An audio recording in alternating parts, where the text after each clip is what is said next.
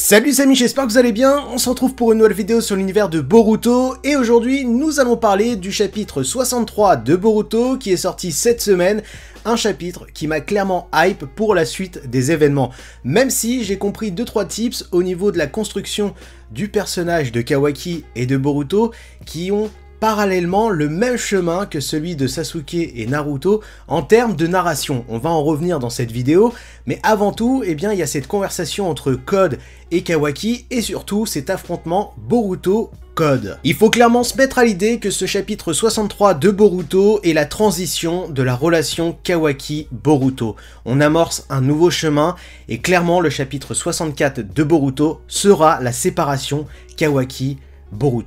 Et c'est là où j'ai trouvé la chose exceptionnelle, puisque encore une fois, on appuie cette relation Boruto-Kawaki, mais surtout on appuie cette relation Naruto-Kawaki. Kawaki qui est vraiment prêt à tout pour protéger le 7ème, le monde Shinobi et si Masashi Kishimoto et Ikiboto appuient réellement sur cette émotion, ce sentiment que Kawaki a envers Naruto Uzumaki, ce n'est pas pour rien, c'est pour la construction du personnage, et cet amour est clairement irrationnel et surtout démesuré. On a un Kawaki qui veut donner sa vie, il donne un sens à sa vie par rapport à un seul être, Naruto Uzumaki.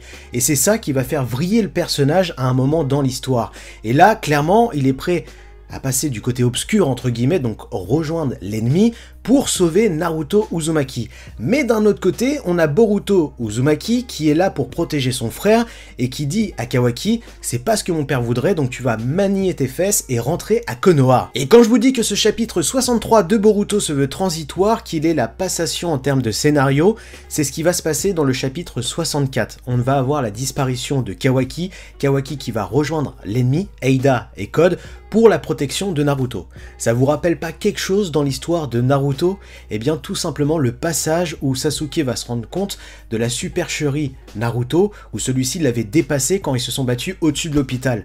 Et eh bien là c'est exactement pareil puisque ce combat Code Boruto a aussi pour faire valoir de montrer à Kawaki que sans le Kama, il n'est rien, il n'est que mensonge. L'approche est différente, mais le but est le même. On va avoir un Kawaki qui va quitter Konoha, tout comme Sasuke, pour atteindre son objectif qui est de protéger Naruto, et Sasuke c'était pour tuer son grand frère, mais surtout, eh bien ça a pour but de faire évoluer le personnage en termes de puissance, puisque tout comme Sasuke, Kawaki se rend clairement compte que Boruto, là actuellement, est à des années-lumière en termes de pouvoir, et qu'il est le seul, s'il contrôle le Kama et enlève la menace Momoshiki à pouvoir protéger Naruto. Et je vous le dis, j'en mets ma main à couper dans le chapitre 64 de Boruto, on aura la fuite de Kawaki, Boruto qui sera laissé pour mort face à son combat face à Code, et on va voir Naruto, Sasuke et euh, les autres euh, shinobi qui vont arriver eh bien, en retard par rapport à ce fameux combat, tout comme Kakashi était arrivé en retard à la veille de la fin entre Naruto et Sasuke.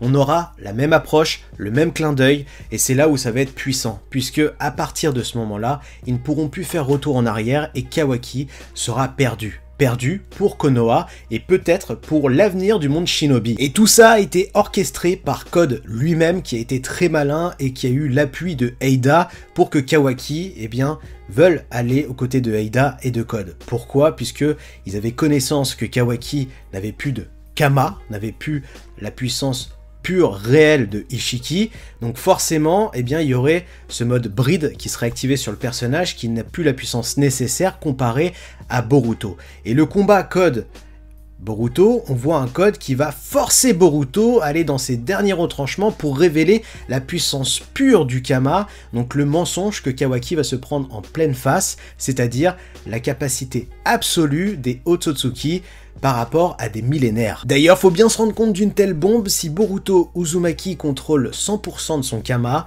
il obtient toutes les capacités expérience de son Ototsuki, c'est-à-dire Momoshiki. C'est juste incroyable puisque par biais il pourrait débloquer des facultés, des compétences qu'il n'a pas actuellement et la dernière case de ce chapitre laisse dans le flou puisque on a une nouvelle forme du Kama avec Boruto qui paraît assez vénère, mais eh bien, est-ce que c'est réellement lui ou Momoshiki? C'est là où c'est un petit peu ambigu, mais il faut se rendre compte que cette révélation a aussi pour but de peut-être intégrer le Jogan dans l'univers du manga. Et encore une fois, je pense sincèrement que Amado n'a pas dit la vérité à Naruto Uzumaki, que ces pilules avaient pour but de tout simplement donner une avancée rapide du Kama pour Boruto. Parce qu'il faut se rendre compte du truc que là, actuellement, ce nouveau pouvoir qui débloque, il le débloque parce que son copain veut partir. Et là, on ne sait pas réellement si c'est Momoshiki qui reprend le dessus, puisque on a un code qui va vraiment forcer à ce que Boruto utilise les facultés de Momoshiki. Mais pour moi, ces pilules ont réellement pour but d'expliquer eh bien, le mensonge en termes de Kama et surtout l'intégration du Jogan dans l'univers du manga, à contrario par rapport à l'anime qui avait fait un petit peu un melting pot pour intégrer cet œil. Sans compter du cas Code, faut imaginer le bail. Code utilise 100% du Kama, et en plus de ça, actuellement, il est bridé.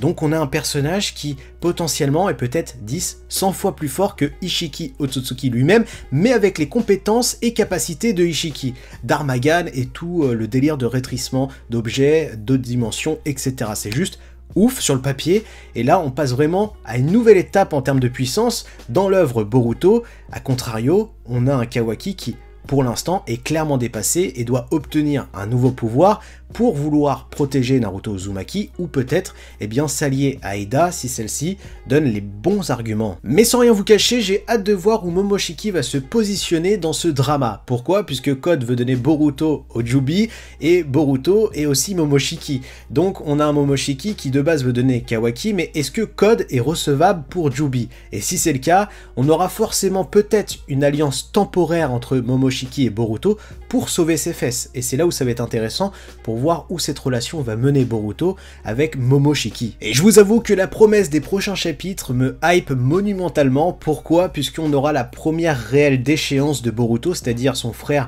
eh bien, qui n'aura pas réussi à sauver temporairement, et d'un autre côté, ça va avancer en termes de scénario, et je suis de plus en plus persuadé que malheureusement, Sasuke mourra de la main de Boroshiki.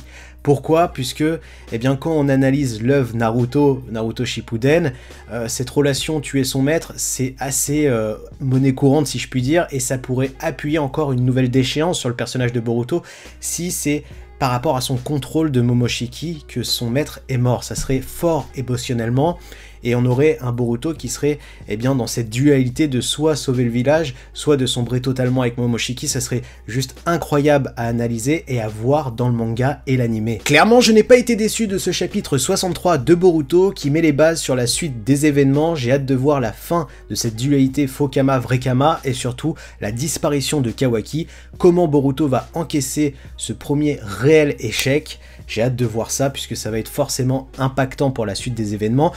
N'hésitez pas à me dire toutes vos théories en commentaire. Je remercie moi Walid, le poteau d'avoir fait des illustrations colorisées du chapitre pour cette vidéo. N'hésitez pas à le suivre sur Twitter, le lien est en description. N'hésitez pas à liker, à partager, à commenter, à vous abonner à la chaîne YouTube. Je vous souhaite une bonne journée, une bonne soirée. À très bientôt. Tchuss